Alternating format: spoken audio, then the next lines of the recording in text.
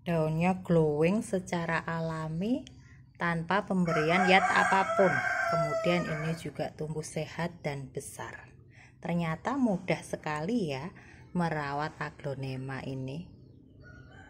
Ini salah satu contoh aglonema yang sehat. Apabila dilihat daunnya rimbun sekali dalam satu pot ini. Cantik dan menawan hati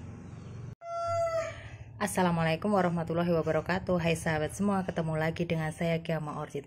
Di video kali ini saya ingin berbagi cerita tentang bagaimana mudahnya merawat aglonema. Dan setelah saya ikut-ikutan merawat aglonema Ternyata mudah juga cara perawatannya. Di sini saya akan menyontohkan beberapa aglonema yang saya miliki.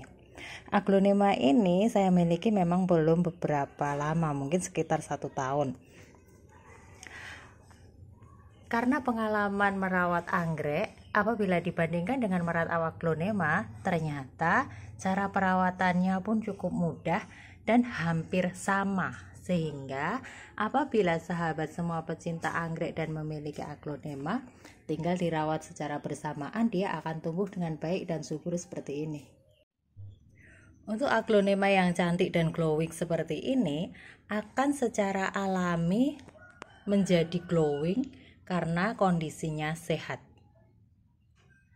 Apabila kita lihat dalam satu pot ini, dia terdapat banyak daun, ada 12 daun sehingga termasuk rimbun. Dan dia hanya satu batang tunggal, belum memiliki anak. Dengan perawatan yang tepat tentu saja aglonya akan tumbuh dengan baik dan subur. Cara perawatannya pun mudah. Ini aglonya saya taruh di teras sehingga dia tidak terkena hujan, hanya terkena panas pada pagi hari. Kemudian, penyiraman hanya saya lakukan seminggu sekali. Kemudian untuk pemupukan karena anggrek ini karena aglo ini yang kita lihat adalah kecantikan bunganya, maka yang diberikan adalah pupuk pertumbuhan sama seperti pupuk yang biasa kita gunakan juga untuk anggrek-anggrek ini namun, kalau anggrek apabila sudah dewasa dia akan diberi pupuk pembungaan. Kalau aglo ini cukup diberi pupuk pertumbuhan saja. Nanti daunnya akan tumbuh cantik seperti ini. Supaya praktis dan tidak ribet, saya biasa menggunakan pupuk yang satu kali pupuk untuk tiga bulan dengan penggunaan pupuk untuk bunga, dan sayur-sayuran. Nah, pupuk ini merupakan pupuk premium dengan pelepasan terkendali. Sehingga kita tidak perlu repot-repot memberi pupuk setiap saat, setiap waktu. Nah, kandungannya adalah nitrogen 23%, fosfat 10%, kalium 10%, dan unsur tambahan lain seperti magnesium, kalsium, asam, humat, dan lain-lain. Nah, untuk penggunaannya, ini untuk bunga dan tanaman hias, sebanyak 3 sampai 10 gram per pot per pokok ya sahabat. Sehingga mudah sekali mengaplikasikan pupuk ini ke aglonema.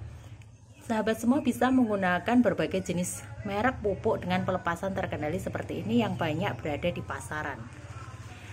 Intinya adalah pada waktu kita memberikan pupuk pada semua jenis tanaman baik pada aglo maupun pada anggrek disesuaikan dengan dosis masing-masing pupuk. Karena kandungan masing-masing pupuk biasanya berbeda merek akan memiliki kandungan yang berbeda. Sehingga yang lebih kita cermati adalah kandungan pupuknya. Mereknya bisa apa saja sesuai dengan yang ada di lingkungan sahabat semua. Berbagai jenis aglo cantik yang dapat sahabat semua miliki seperti ini. Tentu saja perawatan aglo-aglo ini apabila kita sudah tahu karakteristiknya akan menjadi mudah. Cukup kita cukupi kebutuhan nutrisinya, kebutuhan airnya, kemudian kebutuhan terkait sinar matahari. Nah, biasanya saya meletakkan aglo-aglo ini di tempat yang tidak terlalu panas, yaitu teduh, namun dia mendapatkan sinar matahari yang cukup untuk fotosintesis. Dan di samping itu, penyiraman saya lakukan hanya seminggu sekali, dan apabila kena tampias hujan seperti ini tidak perlu kita siram, karena posisinya di teras sehingga apabila hujan dia terkena tampias hujan dan menjadi basah seperti ini kondisinya. Kemudian pemupukan saya gunakan pupuk slow release yang hanya kita berikan tiga bulan sekali. Cara pemberiannya cukup mudah. Tinggal langsung pupuk ini. Nah, kira-kira saya gunakan segini saja ya, sahabat, karena ukuran pupuk uh, aglonya juga tidak terlalu besar dan potnya baru pot kecil. Langsung kita taburkan di atas media. Nah, ini media yang saya gunakan adalah di dalamnya ada sekam, kemudian ada campuran pupuk kompos dan juga tanah biasa. Tanah biasa yang saya gunakan memang biasa tanah yang ada di bagian atas yang secara alami dia akan mengandung humus atau pupuk kompos yang dibutuhkan oleh aglo ini. Nah, untuk penyiraman cukup saya lakukan seminggu sekali sehingga uh, aglo ini tercukupi kebutuhan airnya dan tidak mudah busuk. Nah, kita lihat itu untuk tangkai daunnya juga sehat. Di sini apabila kita lihat ada perbedaan yang cukup mencolok pada daun pada bagian atas dia glowing secara alami karena sehat dan daun bagian bawah dia lebih gelap dan terlihat di sini ada debu. Memang untuk aglo ini jarang saya siram atau spray ke seluruh daunnya, namun hanya saya siram pada bagian medianya sehingga karena aglo ini tidak terkena hujan maka dia juga bisa terkena debu sehingga warnanya menjadi seperti ini. Kemudian apabila kita perhatikan di sini ada sedikit daun yang uh, agak bergerigi. Ini merupakan daun yang dimakan ulat. Nah, jika sahabat semua memiliki aglo dengan jumlah yang tidak begitu banyak dan kita sering memantaunya, maka tidak saya sarankan untuk pemberian insektisida untuk mencegah ulat.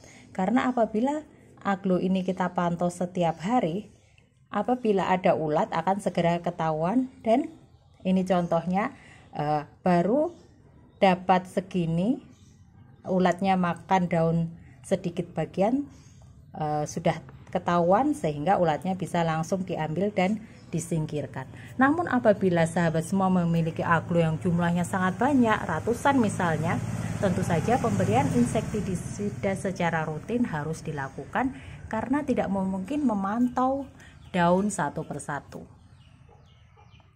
Nah, sahabat semua, semoga informasi ini bermanfaat dan sahabat semua yang memiliki aglo-aglo yang cantik bisa dapat tumbuh dengan baik dan subur seperti ini. Dah, Assalamualaikum warahmatullahi wabarakatuh.